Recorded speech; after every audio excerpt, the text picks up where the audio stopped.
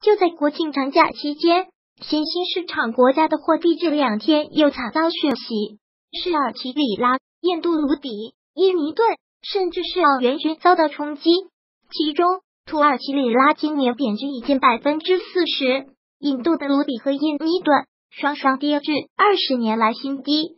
就连发达市场的澳元也因受全球流动性紧缩影响，跌至二年多来的最低水平。实际上，为了避免惨遭血洗的厄运，新兴市场国家都做了一系列应对措施。比如，土耳其央行此前宣布加息，印度政府通过提高部分进口商品关税，阻止卢比贬值，而印尼央行也是连续五次跟着美联储上调基准利率。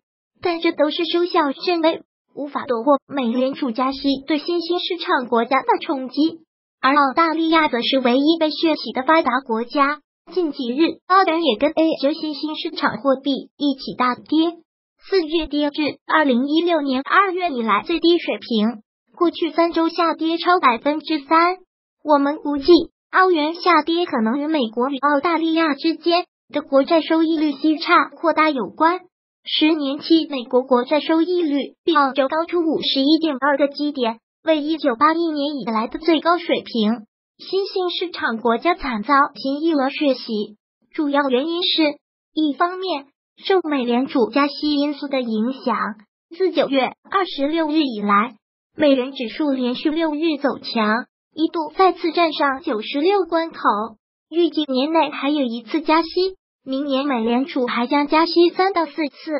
另一方面，美联储主席鲍威尔在本周三接受 PBS 采访时表示，在经济非常弱的时候，我们确实需要相当宽松的低利率。现在再也不需要了，他们再也不符合了。正是鲍威尔的这一番讲话，是的美元指数大涨。采访结束后，在纽约尾盘上破九十六，创六周新高。而近几日，新兴市场货币大幅回调，也主要集中在鲍威尔接受采访之后。值得关注的是，美国劳工部将于今天本周五晚些时候公布九月非农就业报告。对此，我们认为美元指数依然处于上涨趋势，美元多头下一个目标是触及九十七的高点，而今晚的非农数据的公布。很可能成为美元指数重度今年高点的一个催化剂。尽管国庆长假期间，国内外汇市场处于休市，新兴经济体货币惨遭血洗，在岸人民币汇率躲过一劫，大离岸人民币本周也上演了惊心动魄的走势。十月二日，CN 短线跳水一百四十个点，失守六点九关口，后又迅速短线拉升近一百四十点。收复六点八九关口，十月三日又短线急跌一百五十个点，跌破六点九关口。四月一度逼近六点九一，五日虽然 C N 跌幅收窄，但已在六月九日附近持续徘徊。对此，很多人担心，鉴于离岸人民币和在岸人民币的价差已超过三百点，国庆长假过后，国内在岸人民币汇率也很可能展开补跌行情。对此，我们认为央行在国庆长假之前宣布要在香港发行央票，这是要通过发行央票的方式来收放人民币的流动性，通过调节利率杠杆来控制离岸人民币市场。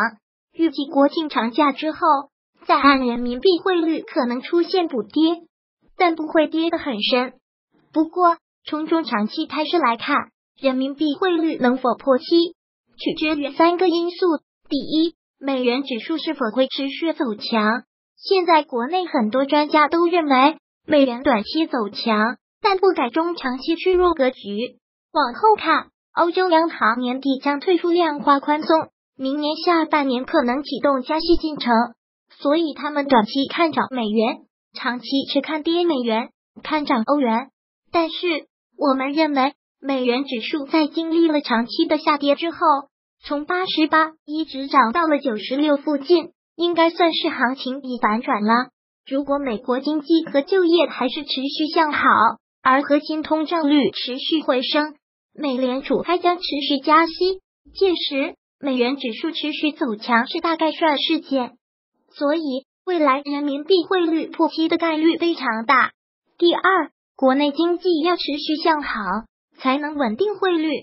九月三十日公布的中国官方制造业 PMI、媒体制造业 PMI 均不如预期，引发市场对整体经济增长的担忧。目前，中国经济有较大的下行压力，PMI 指数随时都有跌破枯荣线的可能。如果要想让人民币汇率彻底摆脱破七的危局，那后市国内的虚拟经济绝不应过度繁荣。而实体制造业要有全面复苏征兆。从目前来看，国内经济走出 V 型反弹还是比较有难度的。第三，这次美联储宣布今年第三次加息，全球新兴经济体市场为之惊恐，于是纷纷采取应对措施，防止本国货币出现大幅贬值。而中国央行并没有跟着美联储一起加息。那么人民币汇率节后贬值的压力肯定不言而喻。如果后续货币政策还是偏向宽松，那么人民币汇率破七就有可能只是时间问题。所以，人民币能否守住七关口的决定权，取决于国内的货币政策松与紧。受到美联储加息的影响，近几日新兴经济体均惨遭股汇双杀的厄运。